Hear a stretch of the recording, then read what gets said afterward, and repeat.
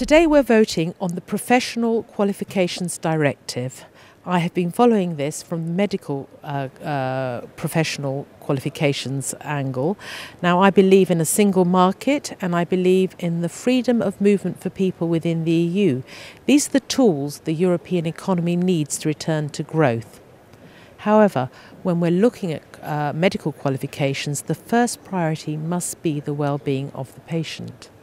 Now, I'm pleased to report that Member States have been given responsibility for checking the language ability of migrant doctors and nurses. Language testing has to be robust, comprehensive, and above all, Member State host driven.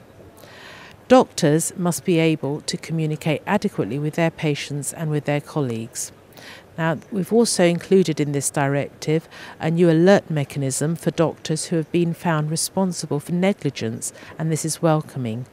I'm sure we're all aware of the case where a German doctor was responsible for a death in Cambridge after making serious errors, raising concerns about the mobility of EU doctors.